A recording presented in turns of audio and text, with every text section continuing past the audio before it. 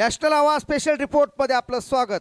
वंचित बहुजन आघाडीमुळे न्याय मिळेल. कमाल हसीम यांची पत्रकार परिषदेत माहिती. आम्ही आपल्याला सांगू इच्छितो की वंचित बहुजन आघाडी घराणेशाही मुक्त असून वंचितांना खऱ्या अर्थाने न्याय देईल अशी माहिती आज घेण्यात आलेल्या पत्रकार परिषदेत भारिप बहुजन महासंघ व वंचित आघाडीचे इंजिनियर कमाल हसीम यांनी माहिती दिली. धुळे लोकसभा मतदारसंघातील धुळे शिंदखेडा मालेगाव व बागलाण हे चार तालुके कायम दुष्काळी राहिले आहेत. हा दुष्काळ संपवण्यासाठी काँग्रेस व भाजपा या दोन्ही पक्षांनी काही काम केले नाही असा आरोप वंचित बहुजन आघाडी यांनी केला आहे. धुळे लोकसभा मतदारसंघासाठी आपली उमेदवारी आघाडीचे नेते प्रकाश आंबेडकर यांनी मालेगाव येथे झालेल्या सत्ता संपादन मेळाव्यात जाहीर केले. असे यावेळी पत्रकार परिषदेत सांगण्यात आले. विविध मुद्द्यावरून देशात धार्मिक उन्माद निर्माण केला जात असून पुन्हा वंचित बहुजनांना फसवण्याचा डाव टाकला जात असल्याचे यावेळी सांगण्यात आले. ब्युरो रिपोर्ट नॅशनल आवाज. इस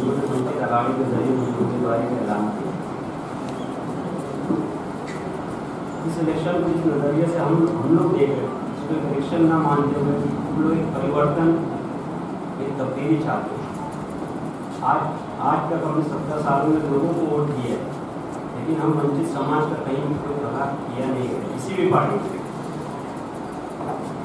उसमें हुआ ये कि हमेशा हम लोग इस्तेमाल होते आए। बस हम लोग इस्तेमाल किया जाता है उसके बाद पाँच साल हमारे पास कोई पूछे नहीं आता हमारे दुख क्या है दर्द क्या है। लेकिन बाला साहब और रोहित साहब ने मिल के वंचित लोगों को उन्होंने जबान दे दी है और हाथों में ताकत दी है। और अब हम इस मकाम पे पहुँच गए हैं कि हम न सिर्फ़ अपना हक मांगेंगे, बल्कि हम हक छीन भी सकते हैं। और इतना हमारा पावर दे दिया हमारे हाथों में कि अब हम अपनी हुकूमत भी बना सकते हैं। अब हमको इनके रहम करम पर रहने की कोई भी ज़रूरत नहीं है। बस मेरा आपसे उद्देश्य ये है। सर्व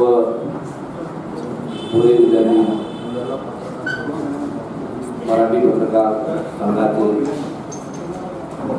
सर्व बंधू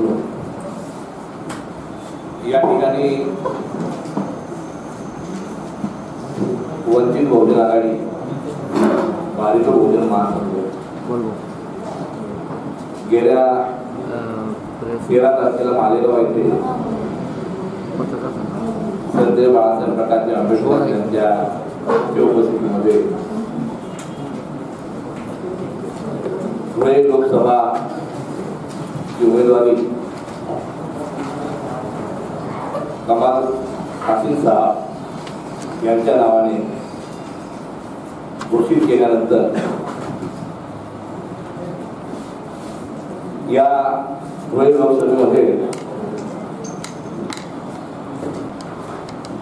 ज्या काँग्रेस आणि भाजपला अशा सत्ताधारी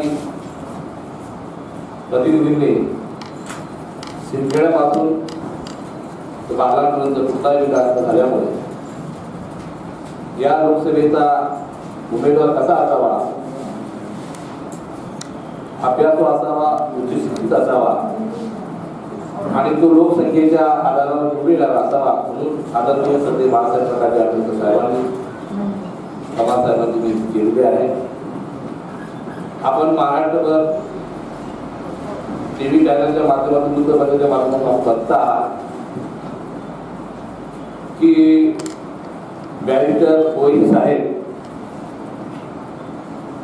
ज्यांनी तो ज्या जो विश्वास बाळासाहेबांवर व्यक्त केलेला आहे.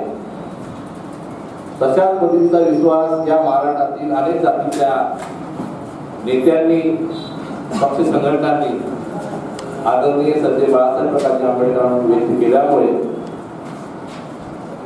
बाळासाहेबांवर भरोसा दाखवल्यामुळे संपूर्ण महाराष्ट्रामध्ये प्रस्तावित जे पक्ष आहेत भारतीय जनता पार्टी आणि काँग्रेस अशा पक्षांना जे काही मीडियामध्ये दिसतात फक्त पेपरामध्ये दिसतात अशा पक्ष- पक्षांना आव्हान देणारी घटना संपूर्ण जिल्ह्यामध्ये घडते. संजय बाळासाहेब संख्येत या मतदारसंघामध्ये दलितांची मतदारसंख्या मुस्लिम समाजाची मतदारसंख्या आणि त्यांचा आवाज आणि वंचितांचा जो आवाज ओळी साहेबांच्या नेतृत्वामध्ये आता संजय बाळासाहेबांच्या नेतृत्वामध्ये अनेक नेत्यांच्या माध्यमातून संपूर्ण महाराष्ट्रामध्ये बोलला जातोय.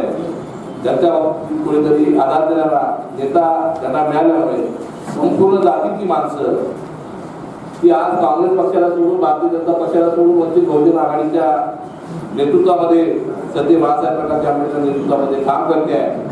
आणि त्याचाच एक भाग म्हणून आमची जी काही या लोकसभेमध्ये काही शक्तीस्थानं आहेत ही शक्तीस्थानं ही मुस्लिम समाजाची संख्या दलित समाजाची संख्या आदिवासी समाजाची संख्या वंचित घटकाची संख्या लक्षात घेता या लोकसेवेचा उमेदवार हा वंचित बहुजन आघाडीचा निवडून येईल अशा पद्धतीची आशावा ठेवून सती बाळासाहेब प्रकाश आंबेडकरांनी साहेबांची उमेदवारी घोषित केली आहे.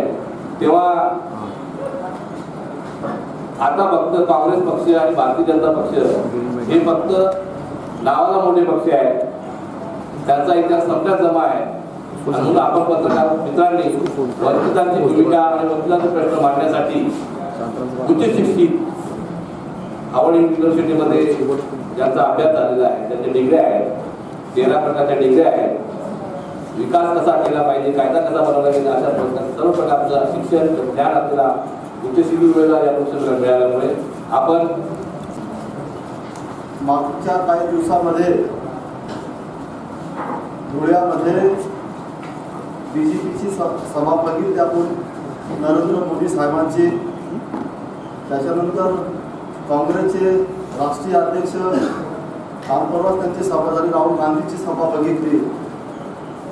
आणि आम्ही तेरा फेब्रुवारीला Bhajap Bahujan Mahasangh Vanchit Bahujan Aghadi M I M Malegaon शहरामध्ये सत्ता संपादन मेळावा जाहीर सभा आयोजित केली होती.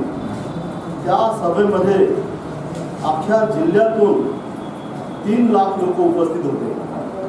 एकही माणसाला एकही कार्यकर्त्याला एक रुपया न देता वंचित बहुजन आघाडीच्या मागे लाखोच्या संख्येने जनसमुदाय श्रद्धे बाळासाहेब आंबेडकर बॅरिस्टर असरुद्दीन ओवीसी साहेब त्यांच्या मागे सर्व समाज सर्व बहुजन समाज त्यांच्या पाठीमागे आलेला आहे. हे एवढे मोठे राष्ट्रीय पक्ष पैसा देऊन गाड्या लावून जेवणं देऊन मटणं देऊन सगळ्या प्रकारची ताकद वापरून पंचवीस ते चाळीस हजारच्या पुढे लोक जमत नाही. याचाच अर्थ असा होतो की सध्याच्या परिस्थितीमध्ये भारताचं वातावरण संपूर्णपणे बदलून गेलेलं आहे.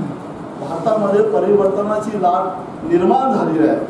आणि ती परिवर्तनाची लाट Dalit Muslim OBC S T S T minority या सगळ्या लोकांची वज्रमुठ घालून श्रद्धे बाळासाहेब आंबेडकरांनी वंचित बहुजन आघाडीची स्थापना करून या संपूर्ण महाराष्ट्राला भारताला एक नवी दिशा आणि दशा दाखवण्याचा एक प्रयत्न केलेला आहे. त्याच्यामध्ये सगळ्या लोकांचा सहभाग निर्माण झालेला आहे. आणि आमचे ह्या धुळ्या लोकसभा मतदारसंघाचं खास वैशिष्ट्य आहे. अनेक वर्षापासून इथे मराठा समाजाचा उमेदवार दिला जातो. त्याच माणसाला उमेदवारी दिली जाते. आणि बहुजनांचा वंचितांचा मुस्लिमांचा मायनॉरिटीचा उमेदवार दिला जात नाही. श्रद्धे बाळासाहेब आंबेडकरांनी पाहिलं की ज्या लोकांना सत्ता मिळत नाही ज्यांना उमेदवारी देत नाही अशी मुस्लिम समाजाचा जो सगळ्यात जास्त मोठा एकटा मतदार आहे दलितांचा जिथे मतदार मतदार आहे त्या मतदारसंघामध्ये उच्च शिक्षित आमचे इंजिनियर कमाल हसीब झाले मुस्लिम समाजाचा एक मोठा कॅन्डिडेट या धुळ्या मतदारसंघामध्ये दिलेला आहे.